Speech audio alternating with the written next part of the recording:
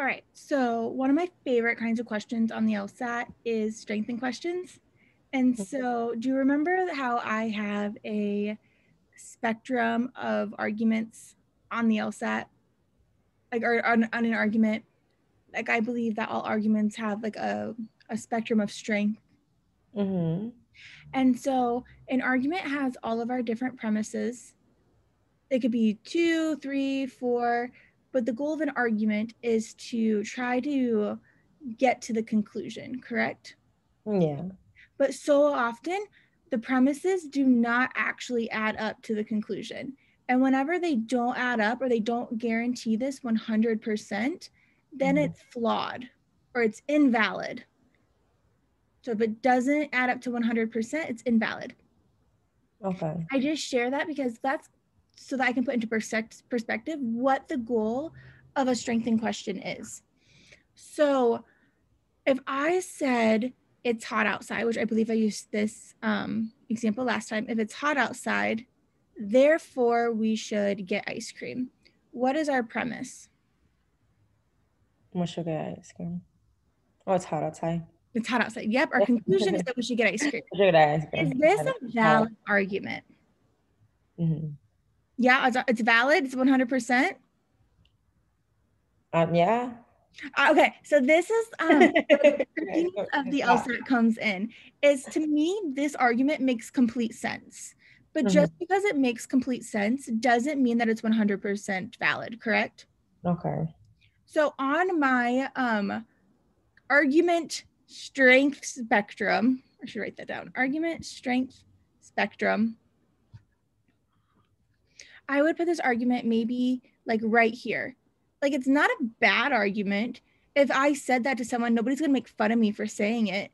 Yeah. But it's not rock solid. Rock solid is whenever something is with 100% certainty.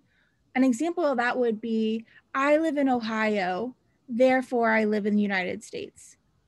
That is a rock solid argument, correct? There's Yeah. no way to misprove it. Yeah. So, um, what our goal is for a strengthen question is to add another premise to the argument that gets us closer to this conclusion. So, we want to add something that will move our strength as close to the rock as we can get. Okay. Where on the opposite, if we were if it was a weakened question, what we would be trying to do is add a premise that would be trying to get us as far away from the rock as possible. Okay. That's a very good uh, example. Thanks. So if it's hot outside, therefore we should get ice cream. If we were going to strengthen strengthen this, this is a bottom up question. So that means that we have our stimulus, we have our question stem, and then we have our five answer choices. On Mhm. bottom up questions, we get to bring in new information. Okay. So we get to be creative here. So if we get to bring in new information, um, what new information could we potentially bring in to strengthen the idea that we should get ice cream? Because it helps you, let's say, keep hydrated. Yeah, I guess if ice cream keeps you hydrated. Like water. I like to think creative. I like to think like, um, maybe it's um, there's an ice cream truck outside, or everybody loves ice cream, or um, we have a gift card to get ice cream, or it's National Ice Cream Day. Any one of those things would get us closer to the rock, right? Some like it being National Ice Cream Day might not be as strong as all people love ice cream, but they're all at least strengthening it a little bit, right? Yeah. Awesome. So I want you to um, come up with your own argument for a second. What would be your own argument? For the ice cream or? Okay. So our example now is um, I like dogs. I'm going to say I love dogs, which Mm. by the way, I have a dog. She has an Instagram. It's Della the Doodle. You totally should follow her. That's how you spell Della. Big Oh, fan. You probably see in the emails that you get from me, I use memes from her. She's a leadership yeah? coach. She's named after Nelson Mandoodle. Um, okay, so we love dogs, therefore I should get a dog. Put that in my home. All right, so what could we add to so right now even though i think that this argument is yeah i like dogs all the way over here because i think dogs are cool it's still Mhm. not rock solid right hmm what could we add to this argument to make it a little bit stronger what type of what premise could we add Dogs bring happiness.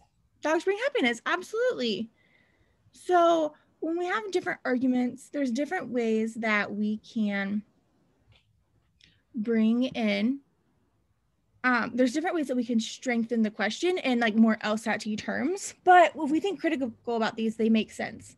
So let's continue with um, I love dogs, hmm therefore I should get a dog. One of the ways that we can strengthen an argument is by denying an alternative possibility. So, what could we add to this argument that would be denying an alternative possibility? Um, alternative. Um, cats are. I mean, dogs are better than cats.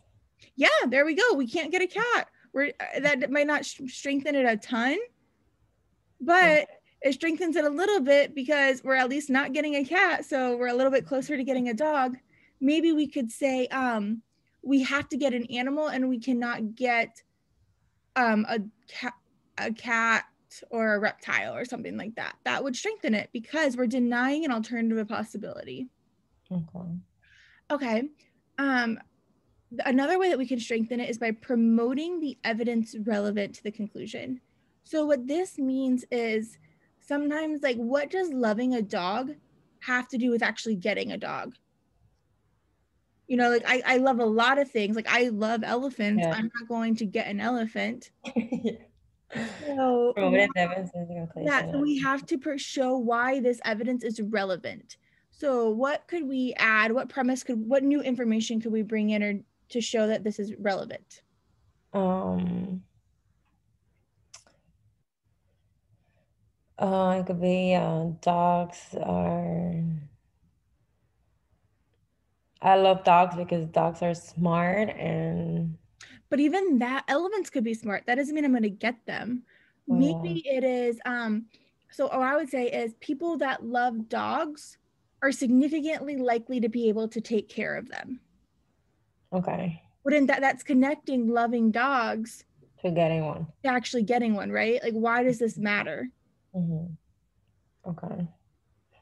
um, if we had a survey, this is just like kind supporting the evidence validity. So this is just like saying that the study was well done. So if we said if there if our argument included a study where 95% of people that love dogs have dogs, we could say that the study um They have dogs because because yeah because they like like they somehow showing that it like the sample size was correct it was properly done it was large enough it wasn't biased etc okay. And then the last one is just providing additional evidence. And that's the one that we did previously when we said about the ice cream one, where it's hot outside, therefore we should get ice cream. Like, oh, Mhm. it's National Ice Cream Day, or all people love ice cream.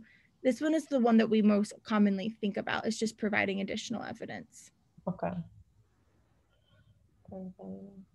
All right, so this is the question that we were just working on. I'm going to read this one to you. So, some, so at least one health official are concerned with the current sustained increase in reported deaths from alcohol related contributions, attributing this increase to an in, to a rise in alcoholism. So, we're saying so like at least one person is concerned that there are more deaths being reported as um, are more alcohol related deaths, and they're saying that it is because of a rise in alcoholism. What part of an argument is this?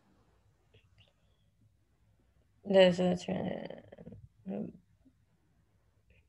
um background information. Kind of, but some Okay, health officials, so it's am I the opinion of others, right? Okay, yeah. So some. I gotta remember that when it's some, it's usually like. Some is of at least one, yeah, but some because we're talking about someone else, right? Yeah. This isn't uh yep.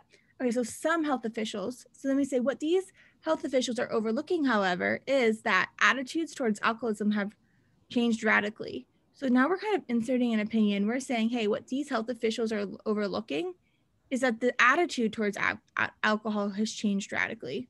hmm I'm like, ooh, I wonder, like, why has it changed radically? How has it changed radically? Alcoholism is now widely viewed as a disease where in the past it was considered a moral failing. So that's kind of answering that question that I Mhm. just asked when I was engaging with it when I said, "Oh, I want to know why how it was changed radically." Where now we're saying alcoholism is now widely viewed. This tells us how. So this is just a fact or background information, right? Okay, yeah. Because we're showing us how. It is therefore likely that more deaths are being reported as alcohol related because physicians are more likely to identify these deaths as alcohol related. So we have an indicator word that is saying it is therefore likely Mhm. that more deaths are being reported as alcohol related. And then we have a premise indicator. This is one of my favorite words because Yes. because is always followed by a premise. And because is actually synonymous with since and for, just FYI. That's important to know. These always are followed by a premise. Is on therefore? Well, no, no, because because because is followed by the premise. Okay. So we're saying it is therefore so therefore likely therefore is a, a conclusion indicator word, but we're saying it is therefore likely that More deaths are being reported as alcohol related. That Okay. more deaths are being alcohol related. Why? Because our support for it is physicians are more likely to identify these deaths as alcohol related. Mhm. Um so what is our conclusion here? More deaths are reported. Um, Yeah. So how did you know it was that and not that the health what the health officials are overlooking is that attitudes toward alcoholism have radically changed. Why did I know that? Mm-hmm. Um, more deaths are because more deaths are reporting being reported as alcohol related because